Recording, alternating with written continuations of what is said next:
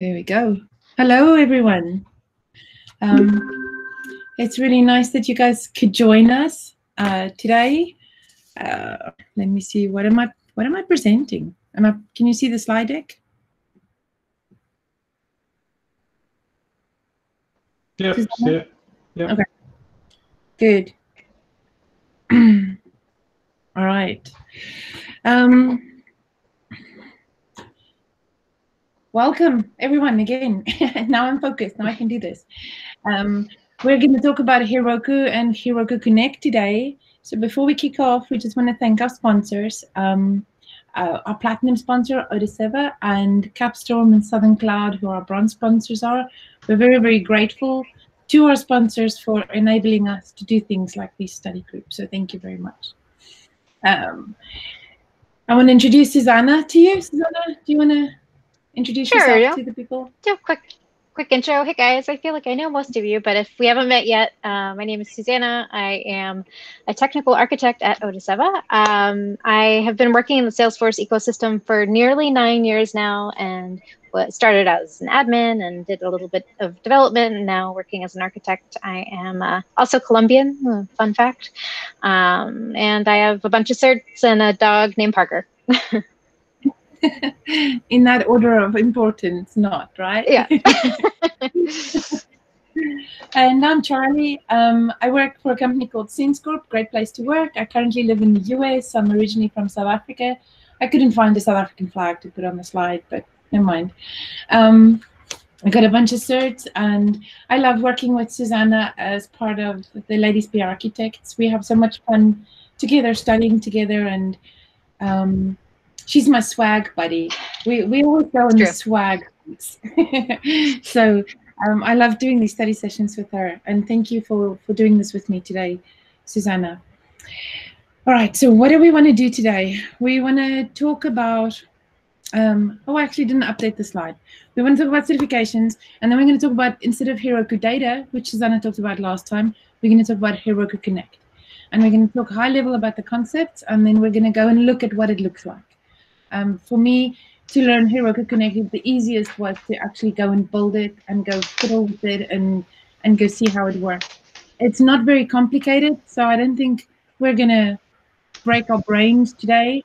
Um, there are still portions of it where I'm not 100% sure always how to do it, so that's why this is a study group, and that's where I need you guys to to jump in and, and help me through this, um, how, uh, so we can study together.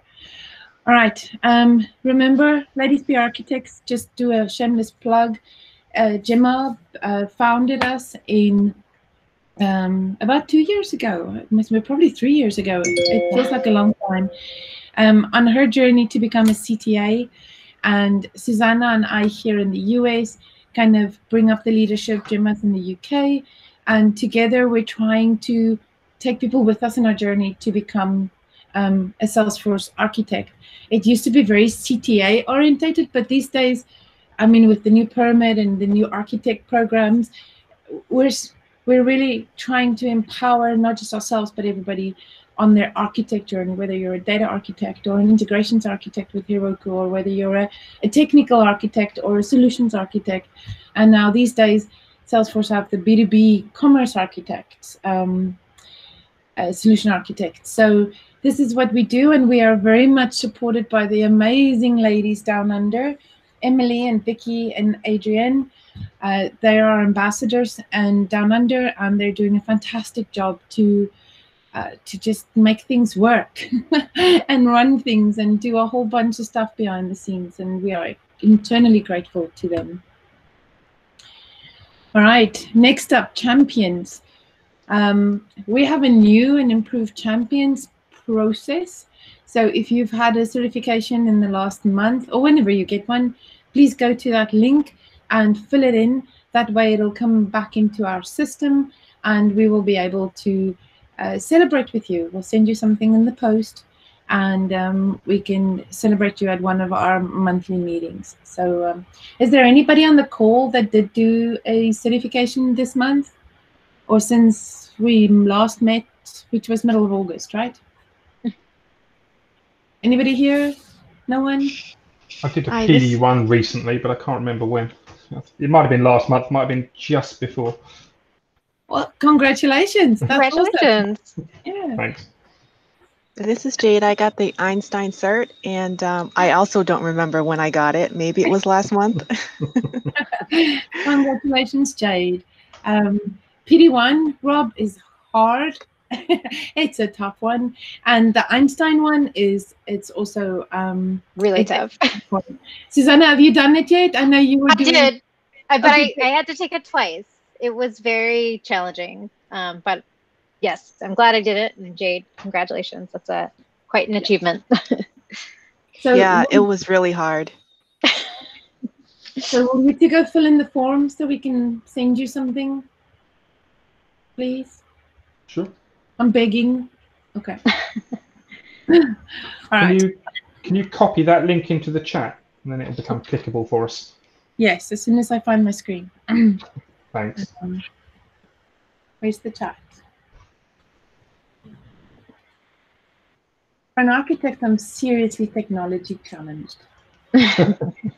You're not alone.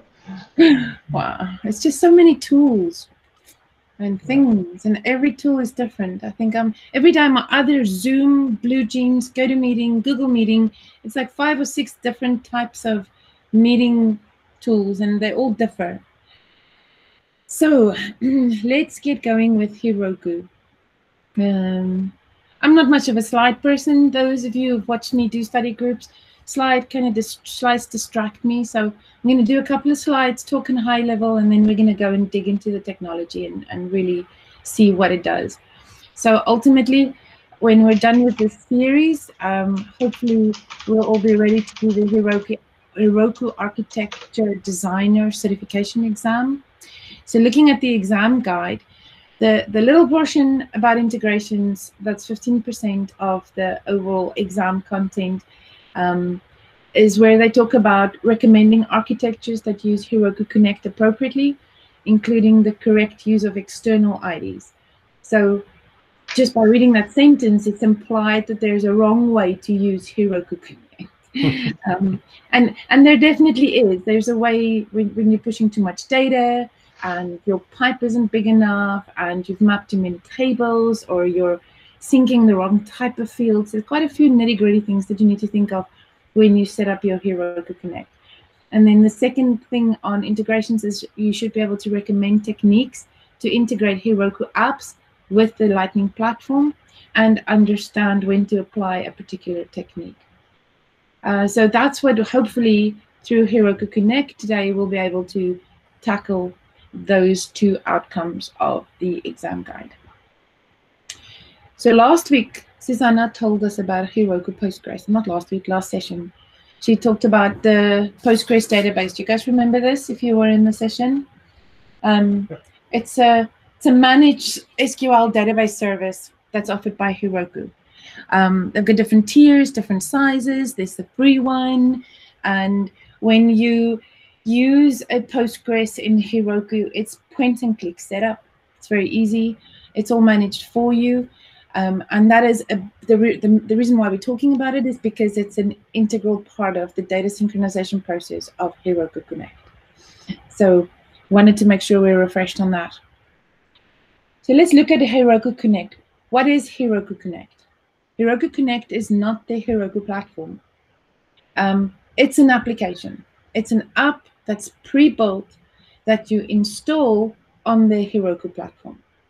So it's important to understand that distinction.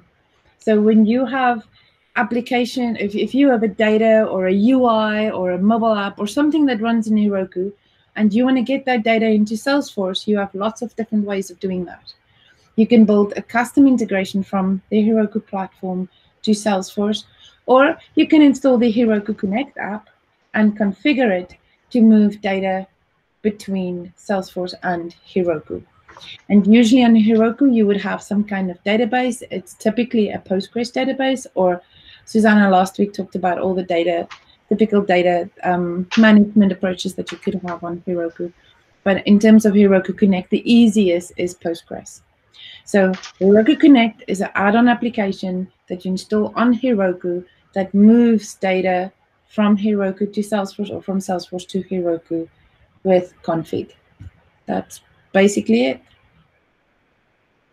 Okay, end of study group. See you guys next month. Joking. All right. so with every kind of app, and I mean, if we think about what our integration are pre-built apps, we've got Salesforce Files Connect, we've got Salesforce Connect, we've got um, there's a multitude of pre-built connectors that you can use to connect Salesforce to something. All of them have limits and considerations, and Heroku Connect is definitely not exempt from that. So those two links on the page, when you go and look at it, the, the loads of consideration links, there's loads. So I, am not going to put all of them in a slide, and I'm definitely not going to read them to you. So I kind of highlighted the ones that I've come across when I've been working with Heroku Connect. Um, the first cool thing is that Heroku Connect data sync does not count against your API limit. So remember, you're synchronizing data from a Postgres database into Salesforce or from Salesforce. So it uses Salesforce API. And if you're syncing real-time millions of records, then that could potentially be bad for your governor limits. But because it's Heroku Connect, it doesn't count against your API limits, which is a really great design consideration if you already have high API, API usage on your platform. So by default, and this is a setting, Heroku Connect will poll your Salesforce for changes to sync every 10 minutes. And then for a certain subset of objects, you can have accelerated polling. So when you design and when you think about the integration that you're building here, remember that you've got to work on near real time. It's 10 minutes sync intervals, not synchronous immediate. So remember that when, when you work with your design sharing rules, you can use sharing rules as a workaround um, to ensure that Connect can only sub synchronize a subset of data. The approach is not really supported by Heroku Connect. So you're relying on Salesforce functionality to limit the visibility of the data in your Postgres, which isn't always a great idea. So just know that if you really need to, you can, but it's not supported. And then row counts can differ. So if I'm synchronizing my accounts between Salesforce and Heroku, my expectation out of the box would be that if I have 500 accounts in Salesforce, I should have 500 accounts in my Heroku Postgres database. Most often, they won't be the same number. And you will tear your hair out trying to figure out why the numbers are different. Um, there's quite a few reasons. Some of the records might fail. Um, there might be uh, oh, there's somebody trying to get into the Roku session. Let me quickly see if I can help them. Uh, where's a quick way for me to copy the call info to someone? I'll put it in the I'll put it in the chat. Okay. And then I can just pop. It's actually somebody that works in my company. Okay. Like, me that. Okay, there you go. Ah, okay.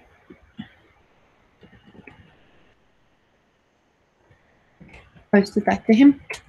All right. So there might be quite a few reasons why your data numbers aren't the same in the data tables. Your first key to figuring out what it is, go through this list of considerations. And there's like a checklist, not a checklist, but if you go through them, you'll quickly figure out one of the main things is fields with long text fields and rich text fields there's huge amount of data in those fields typically in Salesforce. And when you synchronize that, especially when it uses commas and quotation marks, it could have an impact on the data being transferred and that record could fail. So then there's one less row in your Heroku Postgres database. Um, so just be aware that it is something that happens quite often. All right, so the first thing we need to do is we need to have the Heroku command line interface installed whenever we want to work um, with Heroku. It requires Git, and if you don't have Git, you have to install Git first. So um, I have actually, when I prepped for this, I realized I'm on a brand new machine and I don't have anything installed on my on my machine. Um, so I was thinking we could do it together install it all together and have a really nice see how it is. Because usually when people present these things, they've already pre-installed things and it's already done and it doesn't make sense. So one of the first things I need to do, I've opened my terminal and I'm on a MacBook. Um, so the Windows controls I can't really help you with. but one of the one one of the first things you need to do is um, you need to install the CLI. Uh, I was thinking this is going to be an issue. Um, all right, we have other installation methods. So I'm going to share on the Heroku documentation, the Heroku CLI, there are different ways to install it. So you can either use um, uh, the uh, you can download and install it um, through your terminal, or you can do the standalone installation method, um, and they give it for Mac, for Ubuntu, and for Linux machines. And then you have to verify your installation. So the first thing I'm going to do is I'm going to use the standalone, and I'm just going to copy that and put that into my terminal screen.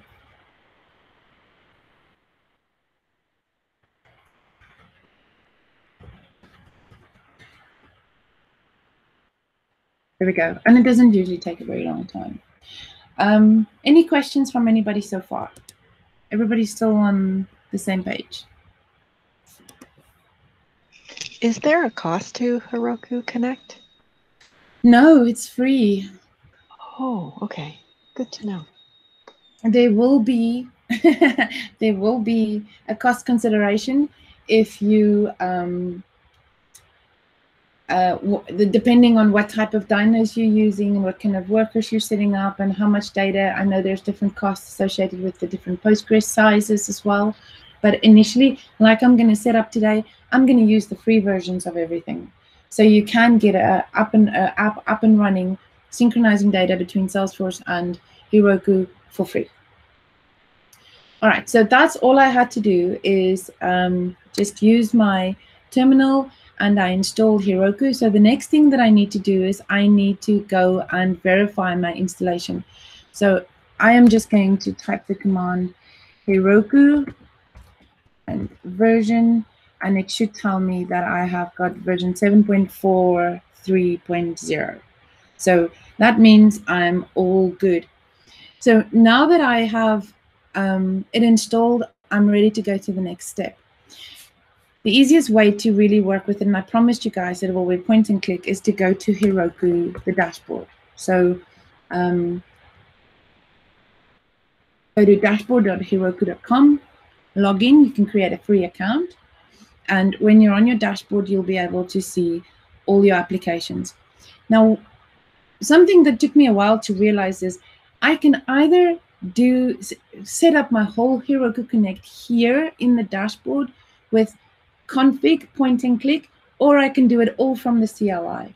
Or I can do some in the CLI and some in the point and click.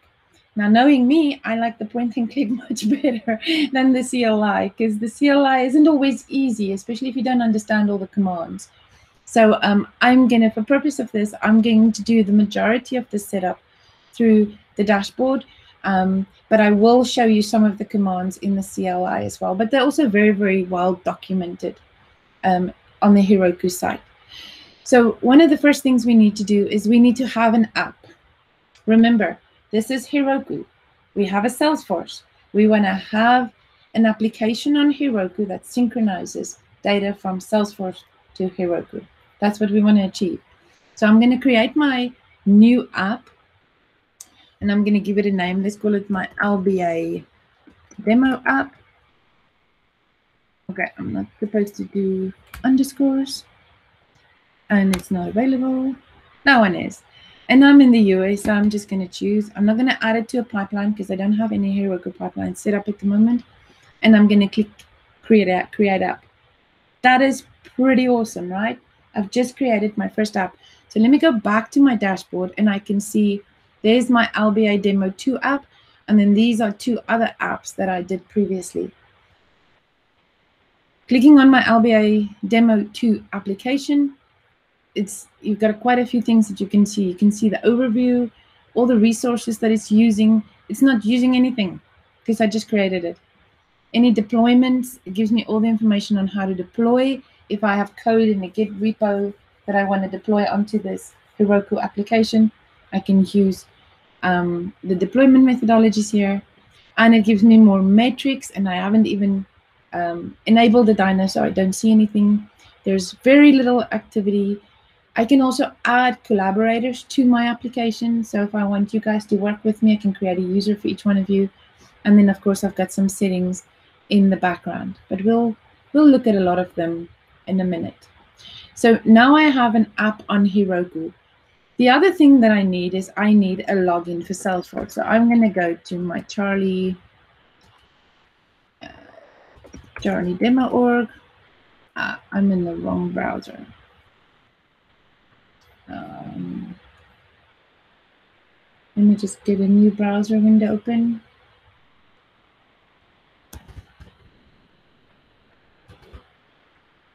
I have my own demo org here.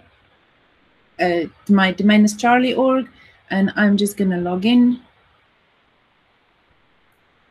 So this is the, the org with the data that I want to synchronize in to Heroku.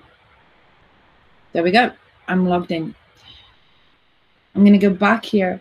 So the next thing that we need to do is we need to go install Heroku Connect because that is the application that we want to use that's going to synchronize the data. So I'm going to just click here. You can see under, under overview installed add-ons, I can just configure add-on.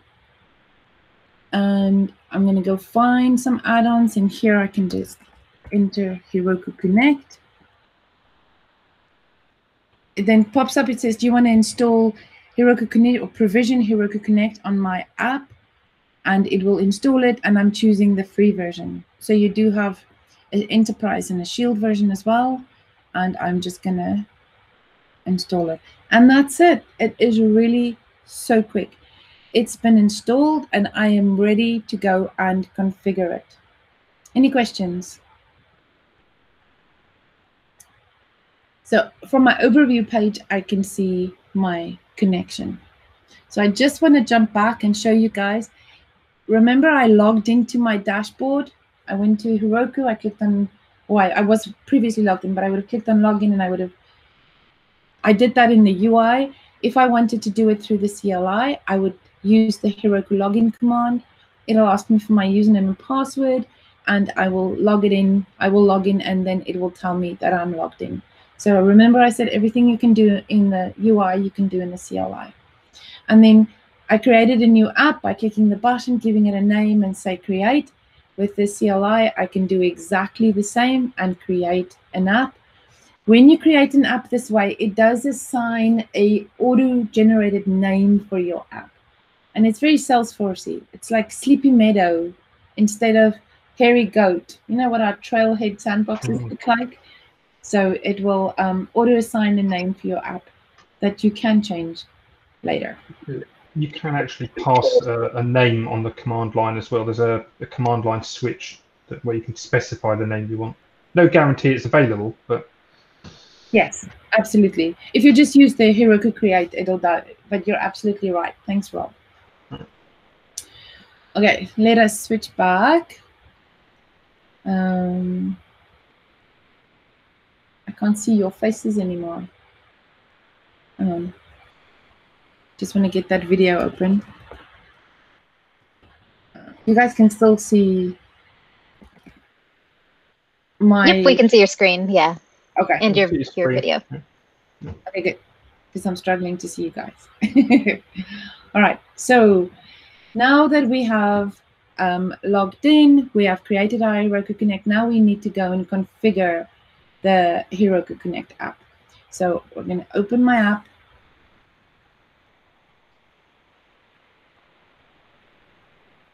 And I'm going to have to create the setup.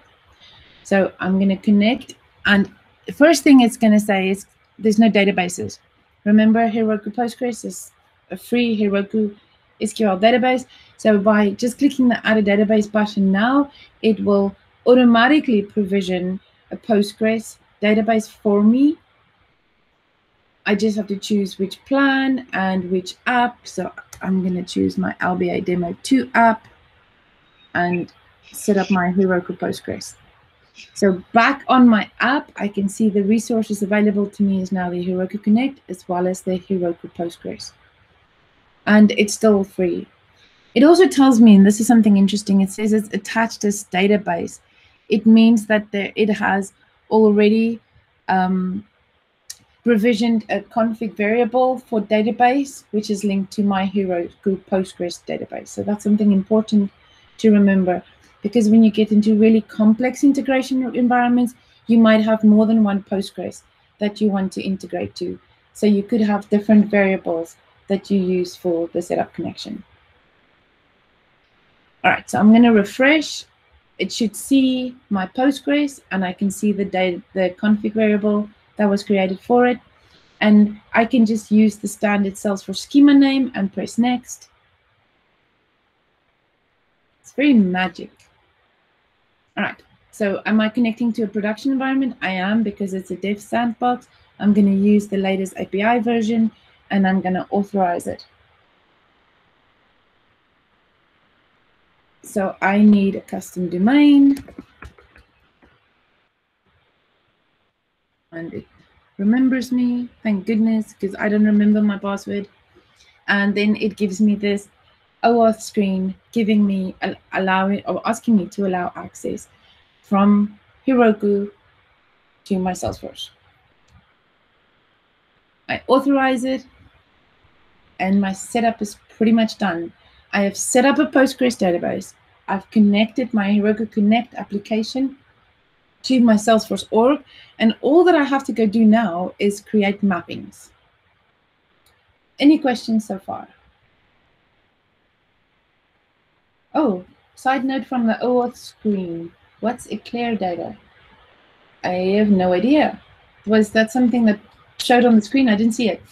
It, it was asking for permission to access it, but it's it's not related to this. It was just a, a, a side note I spotted.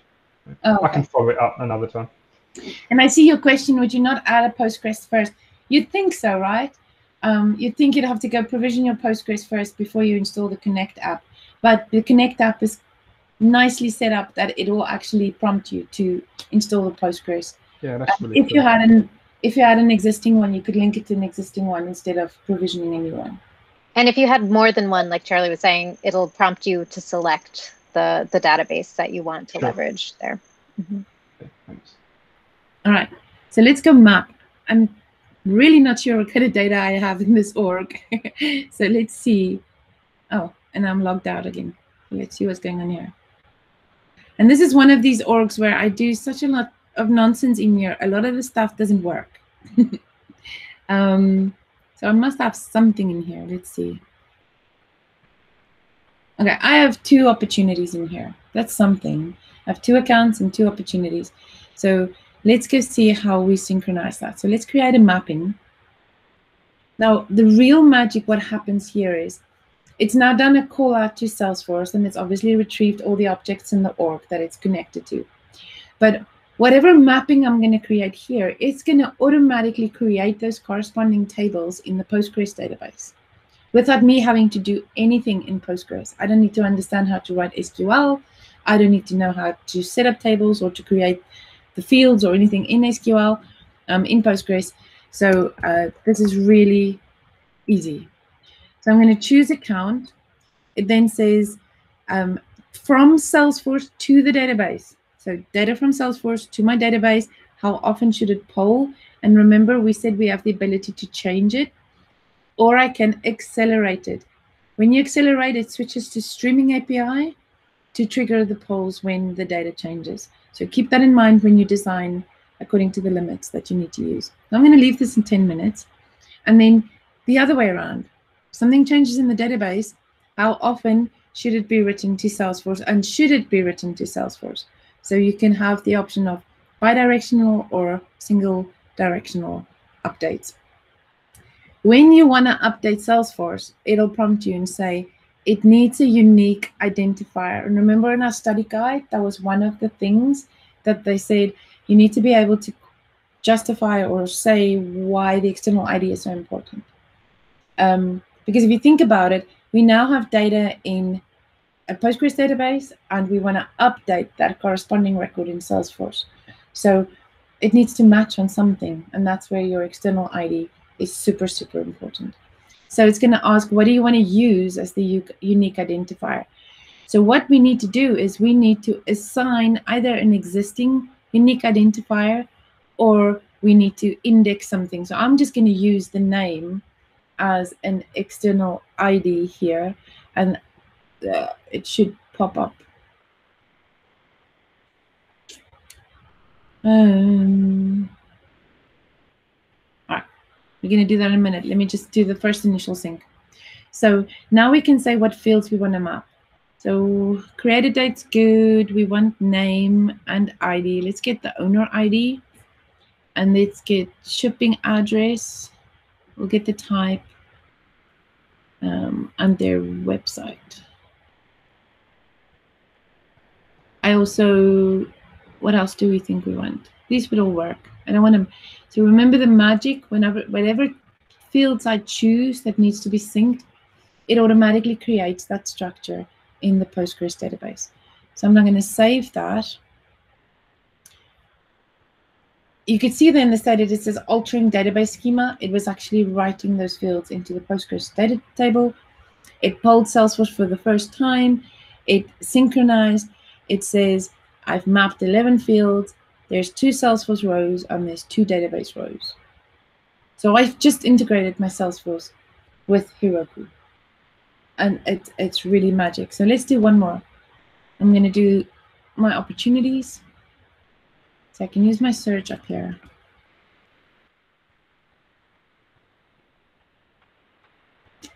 And I'm going to choose some fields. So I obviously want the account. Amount, do we have amount? Create a date, close date is a good one. Uh, and stage. All right.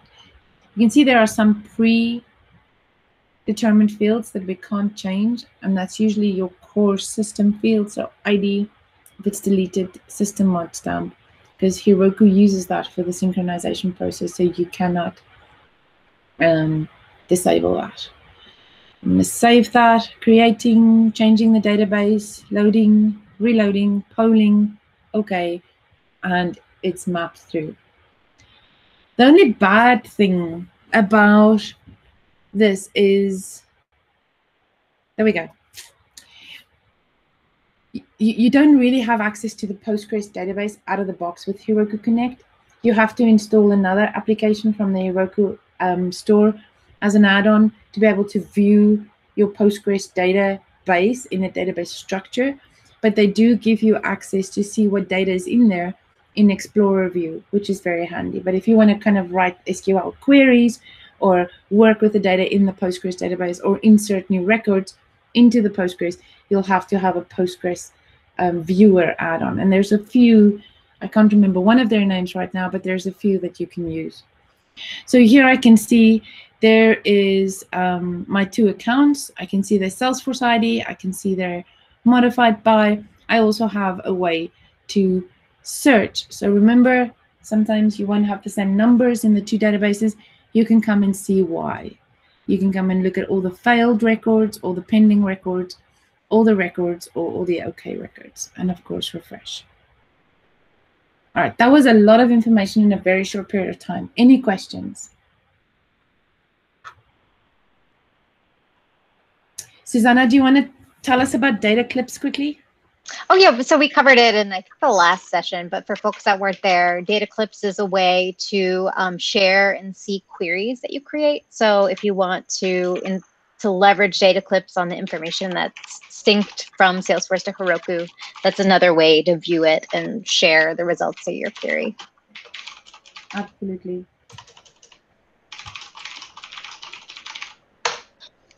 All right. I can also see my Heroku app is idle, but it is online. Um, and if I were to go change something, let's go add a new account.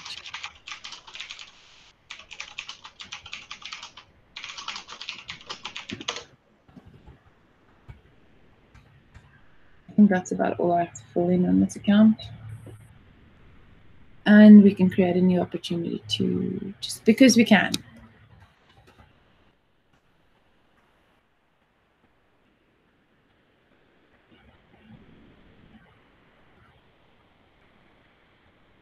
All right.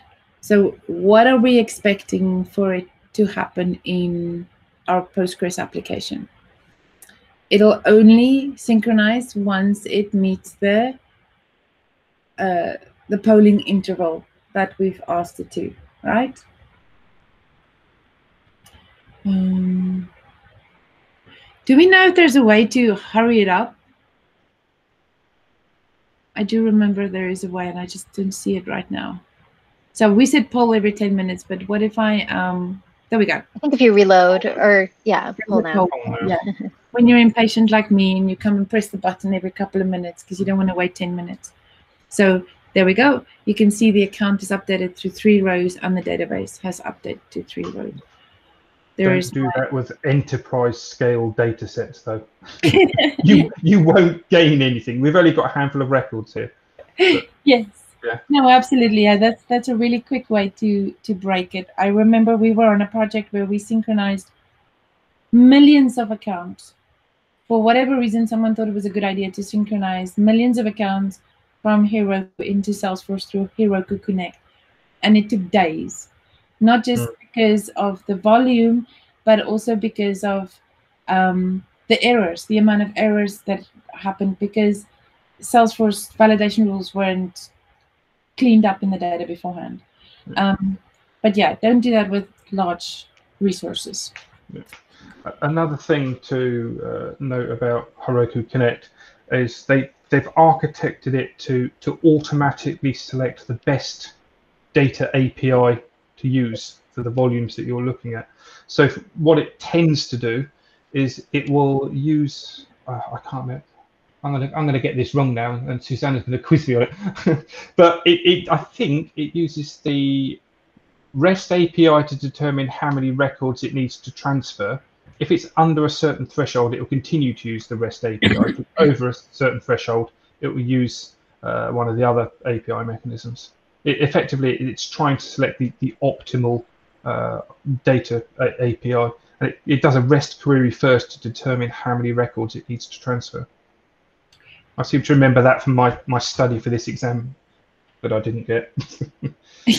from what I remember, it was the it's the SOAP API. So the three APIs, so, Kevin, yeah. was the SOAP API, the bulk, then it either uses um, the bulk API or switches over to streaming API for accelerated yeah. um, polling. Yeah. Susannah, did we get that right? Oh, maybe she's just stepped away for a second. Yeah, she's the only one that's actually got this exam. Oh, sorry, I was on um, I was on mute. I was talking, and I was like, um, so I was gonna say no, you you have that right. And the thing to know about the streaming API when you leverage like the the, the polling and the the higher rate of sync is that the streaming API is the one whose rate limit is um, it's like free unlimited streaming API events. Um, mm-hmm. So that's really where you get that savings with using Heroku Connect is when it leverages streaming. I think bulk and SOAP limits still apply. They're not free like the streaming API is with Heroku Connect. Yeah. Okay. Okay. So so even though the Heroku documentation says this does not account to your API limits, it does when you when you're using bulk and SOAP, but not when you're using streaming, and you don't have a choice over which one you use. Yeah, I've only ever seen that the streaming is marketed as like the free unlimited, but maybe maybe now it supports free bulk, but I haven't I haven't seen that yet. Hmm. Something for us to dig into, maybe. Is it a question on the exam? no, no. There's nothing about like which one is free. No. Okay, hmm. excellent. All right, so that is pretty much all I had to show you. And I think that is because it's, it's only 15% of the exam. And, and there wasn't, I mean, when I took the exam unsuccessfully, like Rob, um, there wasn't a lot about Heroku Connect in there. It, I, it really made sure that it, you understand the concepts and the bare resource of it. Is that right, Susannah? Yeah, and the real big gotcha, like the really important thing to know is the difference between, between it sounds silly, but when you're taking the test, it's like the difference between Heroku Connect and Salesforce Connect. And there's multiple questions, like when I took it, at least on my version of the test, there were multiple questions that were like, is this Heroku Connect or Stream uh, Salesforce Connect? So it makes sure that you know like which one goes which way. And, um, you know, Heroku Connect is bidirectional, Salesforce Connect, and it originates sort of, you set it up in Heroku and you can go bi-directional. Salesforce Connect, obviously you set it up in Salesforce and it uses external objects and it can connect to, you know, any like any OData supported uh, external database. So I think that's the big, it's funny, it's not in the, you know, Heroku docs obviously, but the Salesforce exam really wants to make sure you know the difference because people yeah. often mess up the, the verbiage when they mean one or the other. Uh, can you quickly go back to slide 11 for me, please? Yes.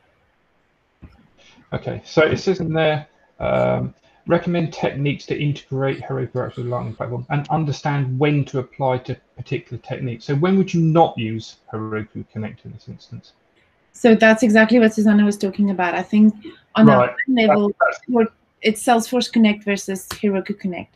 So right, okay either you want to physically synchronize the data between the two databases so it's at rest in Salesforce and in your Heroku Postgres, or you want to just um, virtualize the data in a external object in Salesforce through Salesforce Connect.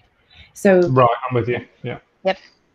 And I think the other good thing just to know about um, is that uh, there's a lot of questions around like Heroku and the different levels of security. So uh, again, it might not be in in this little section, but knowing like Heroku Connect and the difference between Heroku Connect and like the fact that there is Heroku Shield, and, and there's some questions about that. But I think that's probably more in the privacy section than does, it, does Heroku Connect work with uh, with Shield databases? that's a great question. Um, so there's a Heroku Shield product that's a separate product. Yeah. Um, go ahead. Go ahead, Charly. Sorry. No, no, I was just supporting what you're saying. Remember when we created our app, um, and when we provisioned the install, it asked us whether it was a Shield version or the free version.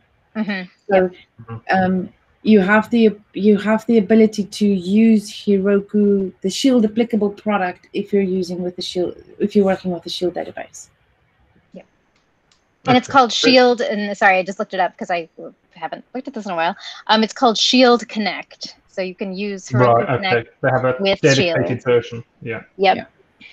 Okay, thanks. Okay. Any other questions? We've got about 15 minutes left. Is there anything else that we should dig into? Um, I just have a general question. Like, what would you actually store in Heroku? That's not a bad question. Um, initially, when I was doing this, I was thinking, why would people do this? But remember, Heroku as a platform can launch lightweight Java apps. So let me give you an example. There's an app um, PPW. There we go. There is a, a little app that, no, not that link, is hosted on Heroku that shows contacts. You can see this is an app on Heroku. And what it does is synchronizes the contacts from Salesforce into a Heroku Postgres.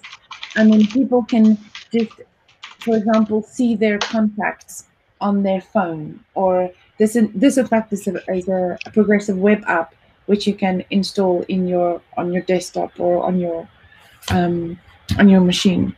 So oh, so they don't need a Salesforce license. They don't need a Salesforce license.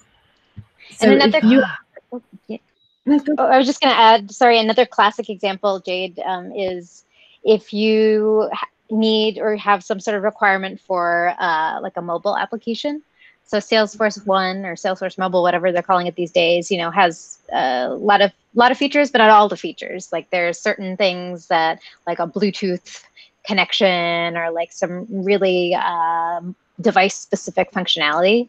It you can leverage your Salesforce data and put it in Heroku Connect. And then if you happen to have resources right in your company that know how to build like with Java or with Go or with another language that Heroku supports, they can use the Salesforce data and use their developer skills that have nothing to do with Salesforce to build, uh, you know, a really custom mobile app that is driven by the Salesforce database, essentially.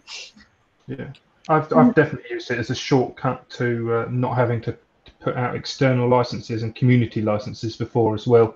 We've just had one integration user that, that pushes stuff back into uh, from Heroku to Salesforce and vice versa. Um, back in those days, it was before Heroku Connect was a product, so we, we actually did it over uh, REST and SOAP APIs. Uh, but yeah, uh, the use case was we were collecting, uh, you know, site contractor health and safety documentation. So we, we stood up a Heroku website to collect that information. And then we used uh, APIs to move it out of Postgres and into Salesforce to hook it up to their account records. So you know, because because we didn't want to spend money on community licenses, just to give them a community site that they could log that information in. Yeah, absolutely. And someone just posted this as a good example of a Heroku app, and this is going to keep me busy for a couple of minutes. So, um, uh, one of the other use cases I've seen, and let me just die here. Oh no, I'm not dying. Okay, no, I'm gonna have to close it. Um, one of the other use cases I've seen is, and, and I really liked it, is say you wanna somebody created a uh, for their field service, they just wanted people to track their mileage. So they created a really lightweight Java application, hosted it on on Heroku, and then when you get in the car, you open the app and you just fill in the date and your starting mileage, and then later you fill in the date and your ending mileage. That goes into the Postgres database, and then it syncs into Salesforce as a summary record. It gets actually gets transferred and synchronized into the Salesforce database um, as their technician mileage for the day.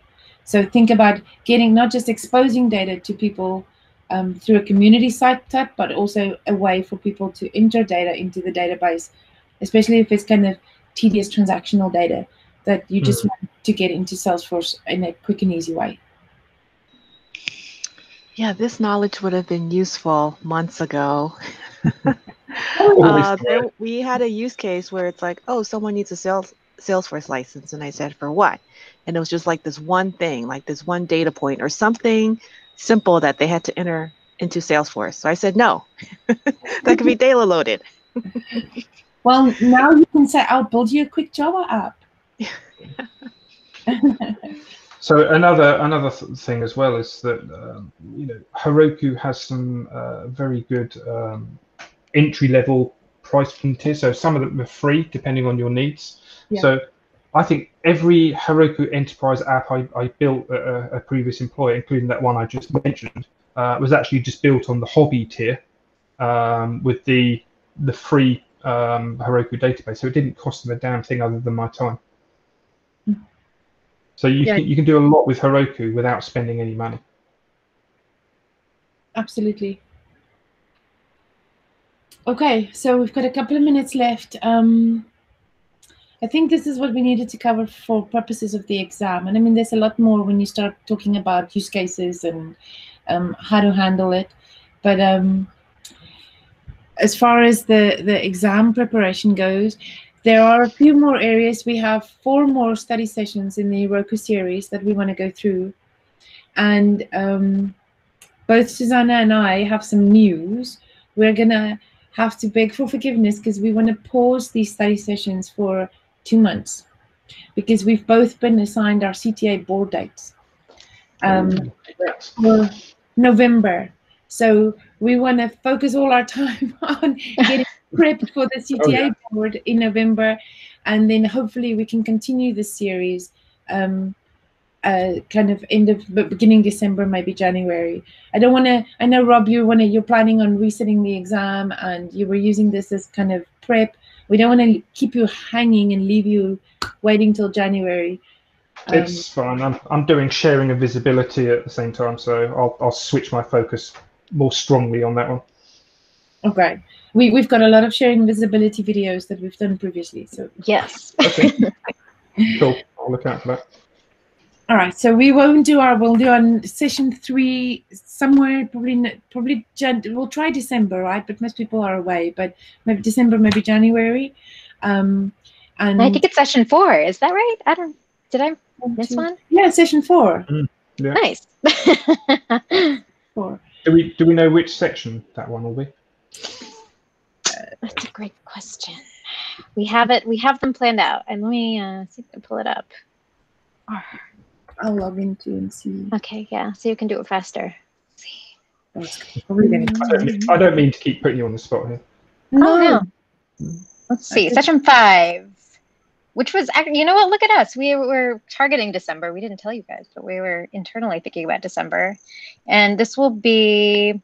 Ooh, this is a good one. So this is another one where Julian or Julian is going to join us um, for production ready applications. So we're going to talk about things like scaling and metrics and log. So logging. Oh my goodness, logging is a big topic on the exam. So logging and monitoring your apps um, for production. So that is session number five. Perfect. Yes. And session six in January is private spaces. It's Heroku Enterprise. That'll be private Yeah. space, security, Shield and Teams, admin, and Julian's going to help with that one too. I think yeah, then we would have covered everything through. Yes. Mm. And that one should be a really good one because one of the hard things in studying for this exam, if you're not in like a enterprise Heroku environment, is there aren't you can't look at it. It's kind of like Marketing Cloud. You can't see it and play with it unless you have it. So getting someone from Heroku to come and show us sort of the the actual behind the scenes stuff is going to be pretty pretty cool. Excellent. All right.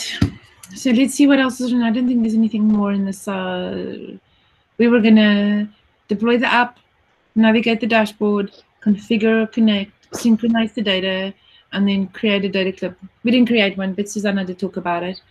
Um, we talked about some questions, and remember the Heroku Designer Trail on Trailhead, and that's all we had for you guys. So thank you so much. I appreciate that you guys take the time. Um, I know you're all in different time zones, and I appreciate it. Yes. Um, Rob, it's it's late there where you are, isn't it? Uh, yeah, it's just coming up for 11 p.m. So. oh no, time to go to bed. yes, Have a cup of definitely. tea and go to bed. Uh, fine. I, I can do late, so I just can't do early. So So um, thank you so much for joining. It was um, great studying with you as usual, and we'll see you guys. Susannah and I will see you in December. We'll hopefully have good news. I don't know. go, go smash we'll it. see. Right. Thank, thanks for the session as well, ladies. It's been really useful. Of course, anytime. Thank you, everyone. Thank you. Good luck Have a on the good day. exam. Oh, thank you. Bye. Bye.